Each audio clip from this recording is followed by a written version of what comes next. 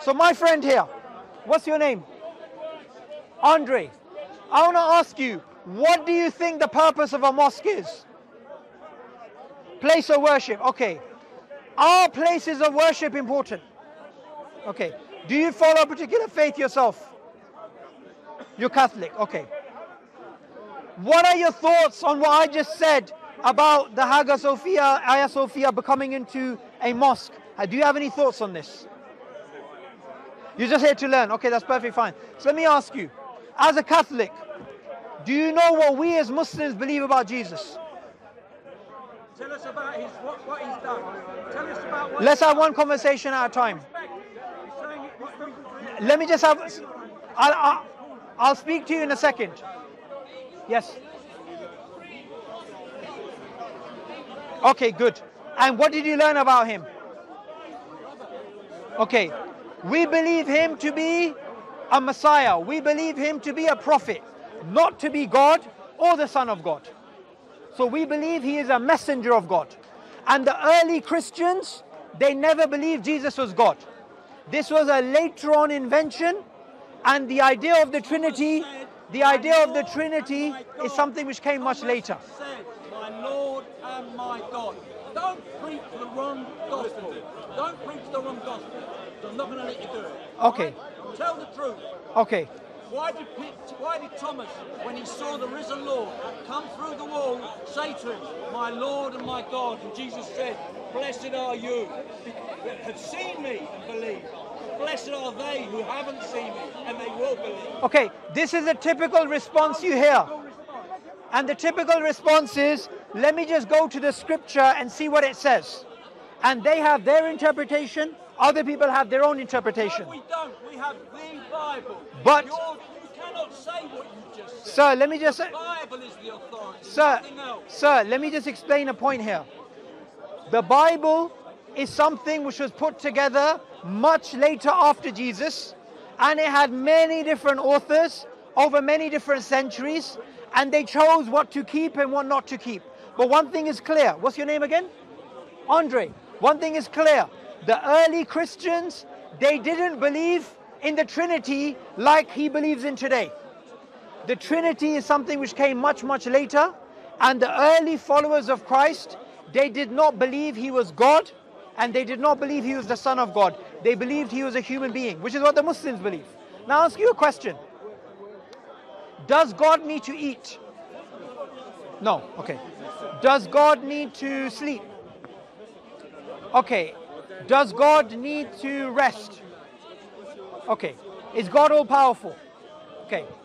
Did Jesus eat? Did he sleep? Does he need to rest? So, can he be God logically? Doesn't really make sense, right? Doesn't really make sense. And the thing is, look, you'll never find Jesus saying, Worship me. That's nowhere. Jesus always said, Worship God. Now, before Jesus, who were the other messengers of God that you've heard of? Moses. You've heard of Moses? Noah? Abraham? Okay. Did any of them worship Jesus or did they worship God? They worship God. Okay, good. We as Muslims, we do the same thing. We say we worship God, we don't worship Jesus. Okay. Now, what was the main message of Jesus? What have you heard? That's fine, that's fine. The main message that he had was to connect the lost children of Israel to God. His main message was not, I am the sacrificial lamb. He never said, I'm going to die for your sins. Now, in Christianity, in Catholicism, we believe that you forgive you get your sins forgiven by asking for forgiveness. That's all you do. In the Catholic faith, it says you have to you accept Jesus as your savior. But the thing is, does God need to sacrifice somebody in order to forgive us? No. God can just forgive us. So what Islam teaches is God can forgive us and God doesn't need a human sacrifice. Right? And the thing is, we shouldn't just follow the religion of our forefathers, we should look at what is true, correct? And Islam is something which appeals not only to your heart but also to your intellect. It tells you things which are logical. Now, so far from what I'm saying, let me know if there's anything that I'm saying that doesn't make sense to you. It makes sense, right? It makes sense. Okay. Many people they don't recognize that much of the teachings of Christianity today have nothing to do with Jesus. Much of today's Christianity has zero link to Jesus. These are things which people came up with much after him, right? He mentioned Thomas. They also mentioned people like Paul, and they mentioned these figures. You must have heard of Paul, right? St. Paul. Did St. Paul ever meet Jesus? He never met Jesus. Okay? So imagine if I tell you, I represent the message of Jesus and I never met Jesus. And somebody else met him. Who represents Jesus more? The person who met him or did not meet him? The person who met him. When you look at the early followers of Jesus, they were very similar to Jewish people. They followed many Jewish traditions and they believed in God in a similar way to what Muslims believe. Okay? I'm going to give you some evidence for this. There's a Christian priest, uh, sorry, deacon. His name is Dr. Jerald Dirks. He was a Christian and he studied the early history of Christianity and he realized the early Christians did not believe in Jesus being God. They had many different beliefs. And many of these beliefs they came after Jesus. So he converted to Islam. And he has a lecture on YouTube you can watch called Islamic Trajectories in Early Christianity. And what he shows through historical accounts is the beliefs that the Muslims hold today about Jesus is what some of the early Christian groups also believed. So what you are hearing today from Islam is nothing new. This is exactly what the early Christians believed. Have you ever read a copy of the have you ever had a copy of the Quran? Okay. I'll try and get you a copy the Quran is a book which was sent to the Prophet Muhammad, peace be upon him, and the main aim was to get people closer to God. Okay? Now, the problem is in today's world, would you say we are close to God or we're further away from God? We're further. Okay. Why do you think, Andre, we're further? The what? Change over the centuries, okay. One of the reasons I'm going to throw out there, let me know your thoughts, is human desire. So, if you look at young people today, they watch music videos, they look at people who are much richer than them. The sense of morality is gone. There is no concept of the, sanct- the sanctification of marriage, meaning you choose somebody, you get married to them, you have a nuclear family, you raise children, that all of that is gone. And what do you have? You have a society which is broken. You have children who aren't raised with fathers and mothers, who are raised sometimes by their grandparents or by single parents. You don't have people respecting elders, and you have a society breaking down. Correct? I link this to us moving away from God and moving into the world of Satan. And what is the world of Satan? Much, and I'm going to make a claim here much of the music industry which, they, which governs what young people do today, its base ideas is to get us away from God and into the hands of Satan. Now that's a bit of a wild thought. I want to first hear your thoughts on it and I'll give my explanation for it.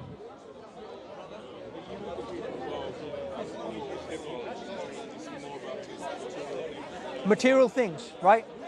So in hip hop videos, right, What's the main objects that they're pointing at that people need to try and get? Women and money. Okay, good.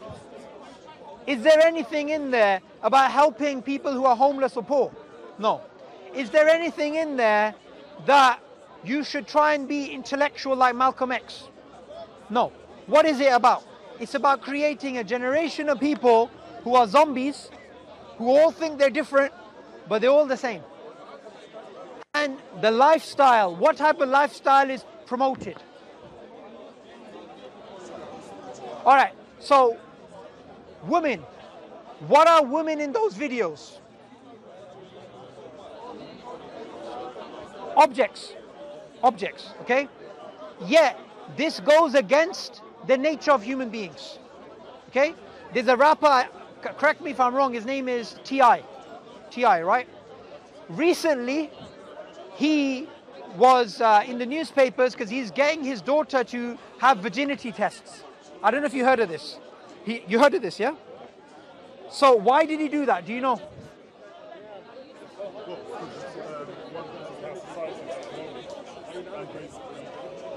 Uh.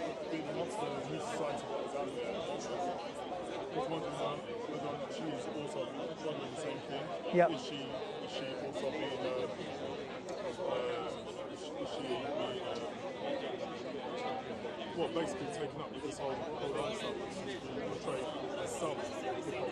The majority of the hip hop videos that you see in forms, yes, there is a lot of titillation and basically and materialistic things and so forth.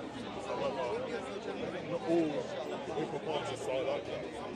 Not all of them are like that. There are some, there are, yeah, unfortunately, a few that do the positive message.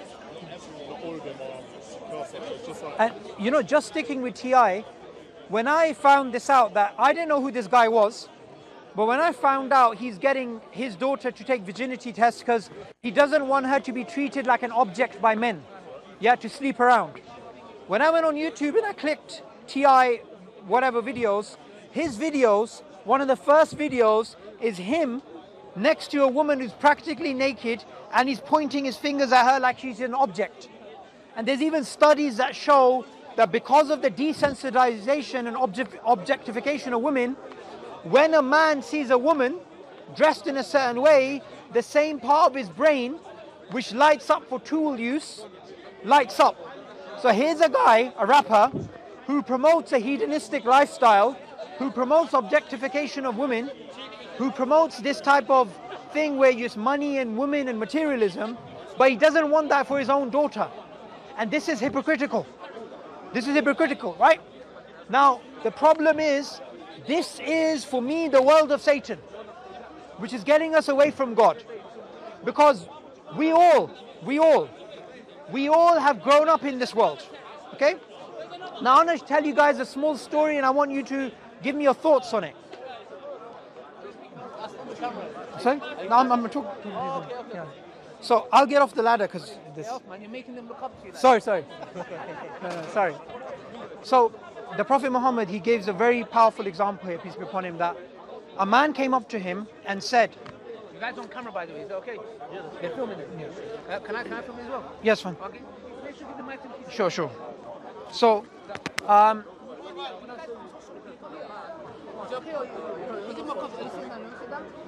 okay? Good. Okay, so the Prophet Muhammad, peace be upon him, a young man came up to him, and you know, young man, they have urges and stuff. And he said to him, Allow me to commit fornication, meaning sex outside marriage. He just wanted to be with a girl. And the Prophet said to him, Would you like someone to do that with your mother?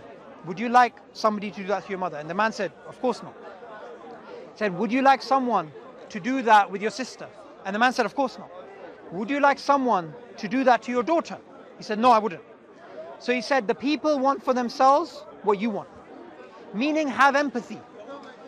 That is someone else's daughter. And if you look, T.I., he's an example of this, but in a very hypocritical way. He cares about his daughter, but he doesn't care about other people's daughters. So I'm talking about that toxic culture we have, and it's not just rap videos, it's all music videos. Whether it's um, trance, garage, I mean, I'm a bit out of date, but all these types of things, they all teach this hedonistic lifestyle, which breaks down society. Because what does it teach us? It teaches us use women. It, it, it doesn't make us think about marriage from a long term perspective. And even when people are married, they commit fornication, they commit affairs.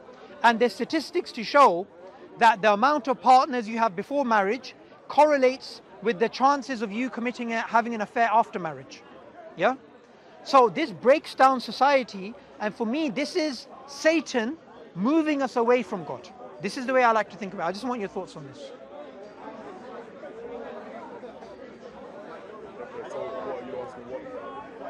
These are my these are my thoughts. What's your thoughts on this? I agree with what you're saying. I do agree with what you're saying. I'm not, um, I'm not disputing anything of uh, what you just said and so forth. I wouldn't um, say that um, it's a, I mean, it's just a select few. I wouldn't say it's everywhere and so forth. There- There's messages, I mean, even in all kinds of religions and so forth, you've got people who are going to um, um, basically give the message what you're, you're giving out and so forth. And then you're going to have people within the same religion who has a different, who has a, has a different outlook on it and so forth, whatever. Unfortunately, that's the kind of world that we live in as well. So it's what we take, we take from what, what you're, you're getting from whatever teachings and so forth. And if it's your truth, you're by that. Okay, that's a good. That's a good way of putting it. I would also add that without God, without us following God's guidance, we can't, as a society, move away from these types of things. Because if you look at these industries, they're very, very strong. They're very, very strong. Now, if you go look at billboards or these types of things, they have all these types of messages everywhere. From a young age, we've been indoctrinated. And what we're taught today is the Nike slogan, which is just do it. Now, just do it, it looks like a harmless symbol, but it's not. It's basically telling you, do what you feel. But would you say that's just how you interpret it though? Because some people can interpret it differently. What I would say is generally capitalism, generally the marketing machine, including Nike, including others, the main message is to do what you feel, do what you desire. And this is the opposite of what God's message to humanity is. God's message is do the right thing, not just do what you want. And that's where I see the conflict between God's message and the message that we have in contemporary society today. Let me just complete the conversation. Yeah, no, I agree. Yeah, I agree with that. So, yeah, I do agree with that. And would you say you, you yourself, you're religious in any way? I wouldn't say I'm religious, but I have an open mind. Um, I'm open hear and learn. Okay. So it's, it's, it's, um, I don't have one standpoint. It's this way and that way. I could easily close, like many, many people, they can easily close themselves off. But I do believe you get to a point in your life where you want to seek truth, Yes. whatever that truth is. Whether that truth is uh, way of life or so forth, whatever, you are going to seek some kind of truth to a point of meaning of your own life well. So um, I guess in part of time in my life now, it's just a case of listen, see what makes sense, see what what um, what, what essence I get from what I from what I learn. Is it my truth? Is it the truth? So, I mean, it's okay, oh, having the truth, what many will follow and so forth, but um, I think you've got to start within, you first before you can actually project what you believe in and so forth. So That's a very good way of thinking about it. Uh, sorry, I didn't catch your name. Name's Colossus. Huh? Colossus. Colossus, nice name. My name is Subboor. So, Colossus, um, you said something which I want to pick up on. You said there's a point in your life where you start thinking about this. That's something I agree with. So, elaborate on that. Is it that you get older and these questions become more important? you do get wiser. You get wiser. Um, and from from experience, everyone has their own experiences. So with whatever experiences that you experience in life, you get to a point, whatever you believed in before or your way of life, sometimes that experience might have put you in a position or where, you're health where your health is being questioned, or basically just the way you're, you're, you're living is, um, or you're hurting other people. So you do get to that point where you're, you want to question yourself on you, whatever has happened before. you've looked at it and you're thinking, hold on a minute, I may have, you know, 10 years ago, I may have handled that differently. Yeah. Today I'm handling it this way and so forth. Okay, what is it I'm learning just from that experience? So want to take that further. I like I like the way that you put that. And would you say that the question of the meaning of life or why we are here, that also becomes more important as we get older? Oh, definitely. I believe there's a there's there's a reason for everything. I don't believe that it's just a case of nothingness. It's a case of? nothingness. There's, there's, you know, there's a purpose of something, whatever that purpose is. Whether it's, um, I mean, as we're living, we're living beings. Obviously, we want to, you know, we want to have that essence in our life. What is it? What is it that's going to motivate you in the morning? What's it going to motivate you throughout the day? What's going to motivate you? How are you? Are you going to be satisfied by the time? By the time you go to go to your bed, are you satisfied with how you lived throughout your day? What message have you have you projected out there? out there, whether you to the world, the universe, however you you see it. What is it that your what, what teachings are you giving to your family, your friends, and so forth? How are you living? You have children. How are they seeing it, Mm. and so forth? And you know that's where that's how um, why I say you get to a point. Yeah. Uh, I, I do see I, life is an adventure. You've got to embrace it. Mm. So what is it that you want to get from that adventure? I think that's a really good way of putting it. And uh, I would add to that that when it comes to God, that's also something that I would say as we get older, we start to reconsider our relationship. What do you say to that? I, I can understand that definitely. Um, depending on the individual as well. Definitely, you are, you are gonna, um, especially if you feel, if you believe in the God in the first place, and you want a relationship, then of course you are gonna go and you are gonna see what is gonna make what I believe logical sense, Yeah. um, or just in sense in general. Because some people, some people, everyone's, everyone's, we all speak a different voice. Everyone's voice is unique. All- That's what makes us human beings so unique in Yeah. general. We're all individuals. So you are going to seek, like I said earlier, you're going to seek your seek your truth, whatever that case is, whatever that purpose Sure. is. You are going to seek it, Yeah. and you, are going to look at. And I, I feel you have to be open-minded um, in order to get to that conclusion. Absolutely. You know, Absolutely. just because someone has said this is the way to live, this is how it is, and so forth. Question it. Question 100%. Yeah. And, and you know, this is one of the things in the Quran that God says think, reflect, question, ponder. Don't just blindly accept. And one of the messages of the Quran is don't follow your ancestors, follow the truth. Don't follow desire, follow the truth. Why? Because in life, we fall into two traps. We either do what we like or we do what other people are doing, our ancestors, our society. The Quran says don't do both follow what is the truth and use your reason to come to it. Now, about your relationship with God, would you say that you believe in God or you are unsure about God? Where, where do you lie when it comes to God's existence? I've been on a journey which is a bit both. Evolved. It's, it's definitely, and it's, it's, it's definitely one where I questioned for many years. And then there's certain things that, again, through experience, you question things.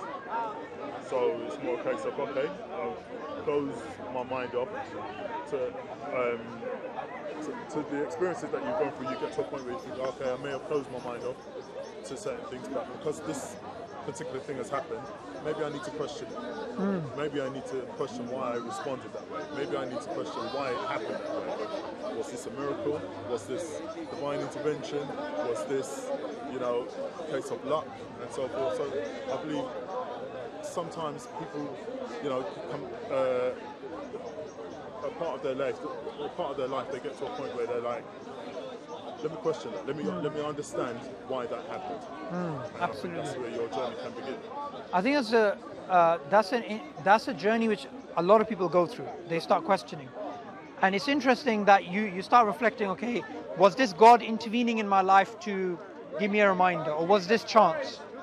Would, would you say would you say that the death of a close member of uh, your family, or someone having cancer, or these types of events, would you say they trigger these thoughts as well more?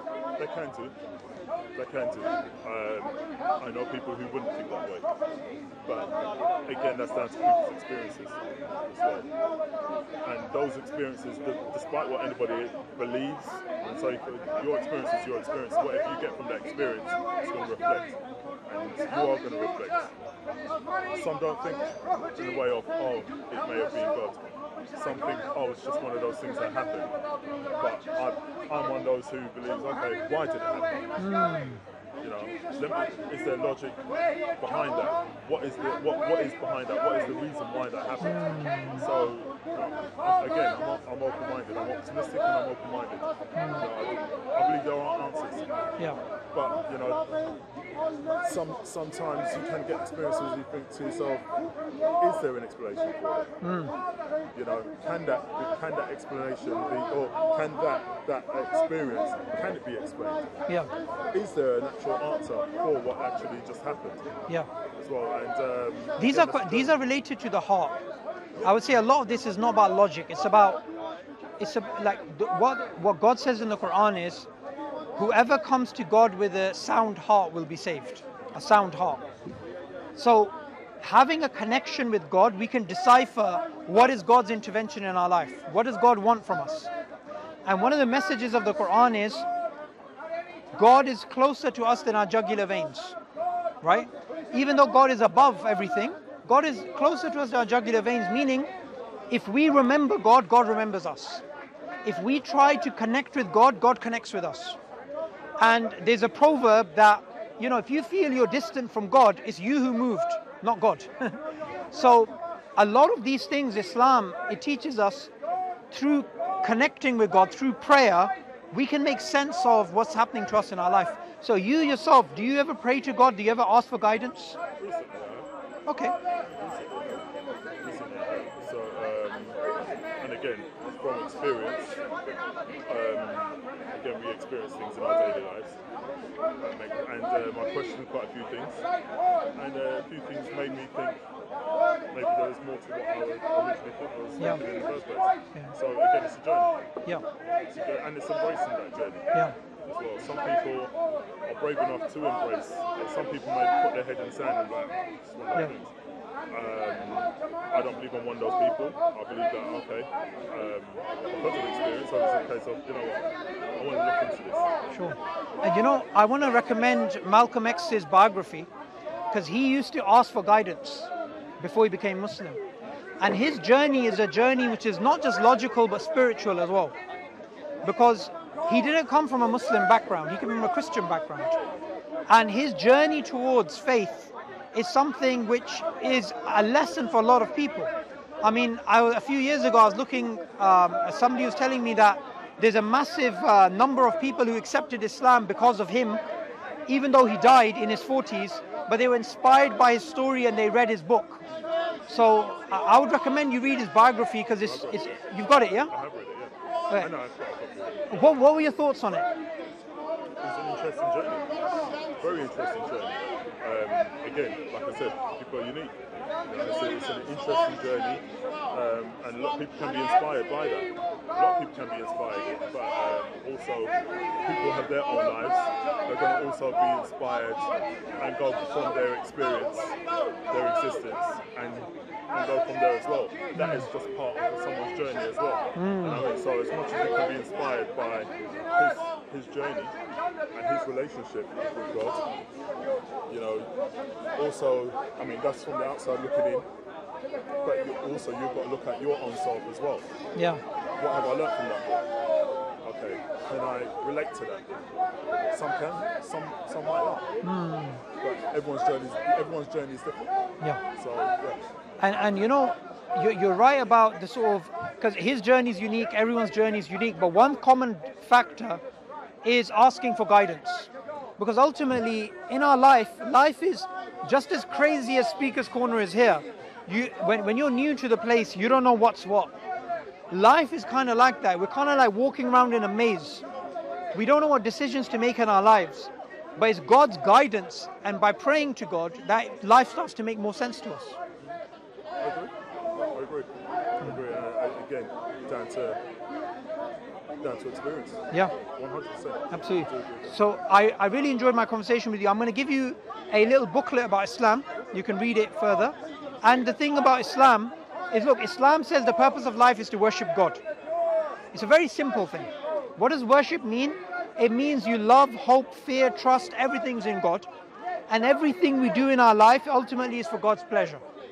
And we believe as Muslims, the only way to be truly happy is by making God happy. Then you will have peace and happiness. And one of the things that Malcolm X also speaks about is inner peace. Yeah?